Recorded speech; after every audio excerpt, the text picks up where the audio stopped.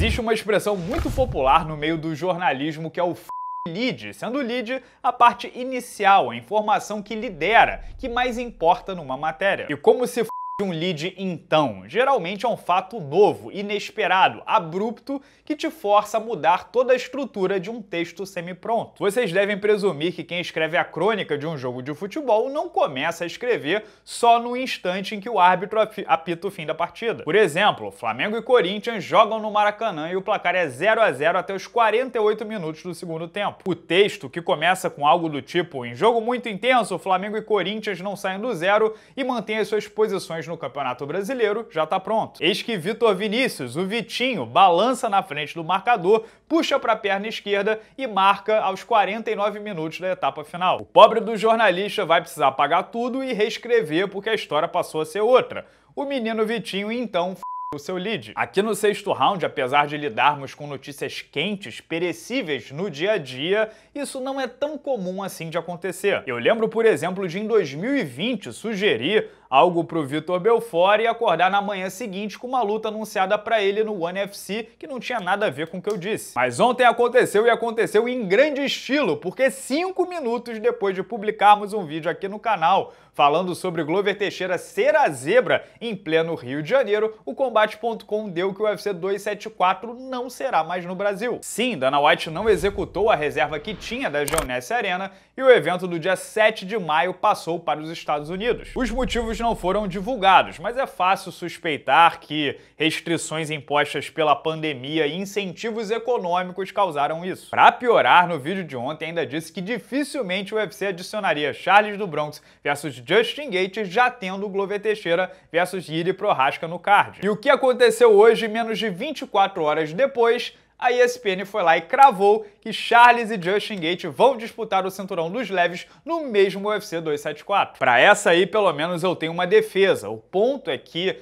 Cards no Brasil não são prioridades para a empresa e não costumam ser carregados. Tanto que a adição de Charles versus Gate vem justamente depois de levarem o evento para a América, onde tem acordos comerciais mais robustos. Eles vão colocar os ovos na mesma cesta e, de fato, só vai restar Kamaru Usman versus Leon Edwards, Dustin Poirier versus Nate Diaz e as meninas para junho e julho, mas pelo menos vão cobrar em moeda forte por isso. Uma pena enorme, porque a gente não recebe o UFC desde março de 2020, o último pay-per-view por aqui foi o UFC 237, em maio de 2019. Ainda que não rolasse Charles e Glover juntos por aqui, só de ter Glover e Durinho versus Hansa Kimaev que seja, já seria muito legal. Eu estava até planejando um encontro dos inscritos. Mas enfim, vida que segue. Só não dá para negar que fica uma sensação de que tiraram o doce da boca da criança e com o anúncio hoje de Charles versus Gate para o mesmo card, ainda descobrimos que o doce era recheado com chocolate suíço trufado. Sobre a luta como previsto, Gate terá mais uma chance de se tornar campeão dos leves, porque o timing favoreceu. McGregor só volta lá para agosto e Dariush e Mahashev ainda nem lutaram. Ou seja, o americano não terá que se rebelar, jogar coquetel molotov no bar dos outros e nada do tipo. E olha só, aleluia, o brasileiro finalmente abriu como favorito nas casas de apostas, na proporção de 1.55 para 1. Ou seja, os apostadores aprenderam e o respeito finalmente chegou. A análise do casamento feita pelo Gate também é perfeita. Se eu não for muito melhor do que ele em pé, estou f... É simples assim. É bem por aí. Se Gate vencer, provavelmente será por nocaute ou nocaute técnico, mantendo a luta em pé e machucando bastante o Charles. Agora, noto que ele não tem o boxe e nem a capacidade cardiovascular de sustentar a performance por tanto tempo quanto o Dustin Poirier e no departamento de defesa de finalização também fica atrás do Diamante, que é faixa preta de jiu-jitsu. Por outro lado, Charles de fato não pode engolir aquela mão direita a seco. É altamente recomendável que ele não não tome outro knockdown, não confie tanto assim no queixo. Agora, se grudar, o americano sucumbe. Gate vai estar tá tão temeroso da aproximação que acho que a luta agarrada passa a não ser o único caminho. Nesse cenário, as fintas passam a ser as melhores amigas do Charles, né? Faz que vai entrar em queda e sobe com um up, com uma joelhada voadora, etc, etc. Eu de verdade não acho um cenário utópico essa luta aqui terminar com o nocaute do Charles, porque em primeiro lugar, o Charles despachou o Michael Chandler e o poderosíssimo Justin Gate não. E dois, uma hora esse queixo do Gate vai embora, o cara absorve muito golpe limpo. Há anos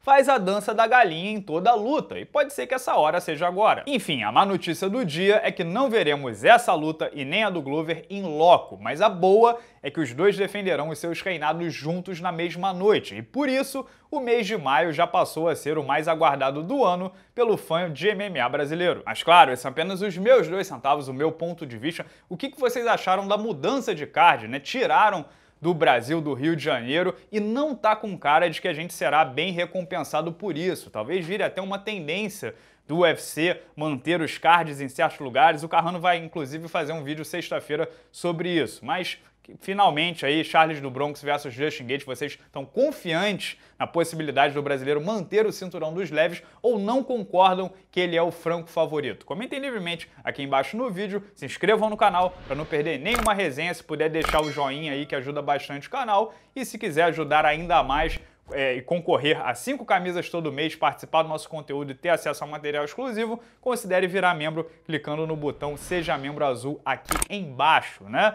Se quiser acompanhar minha resenha de ontem, eu também falei bastante sobre Glover Teixeira versus Yuri Prohaska, o casamento, né? Você é, tira a parte de que é no Rio de Janeiro, os detalhes que eu falei sobre isso, e foca só no casamento técnico. É só clicar no link aqui do lado. Grande abraço a todos, muito obrigado pela audiência de sempre e até a próxima.